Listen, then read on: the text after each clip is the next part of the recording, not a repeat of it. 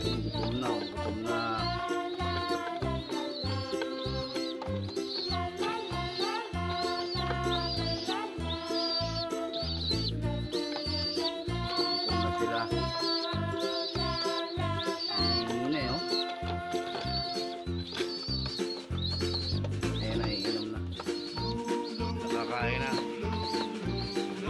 pinapakain na ah, pinapakain na nila kaya naman ah. ha.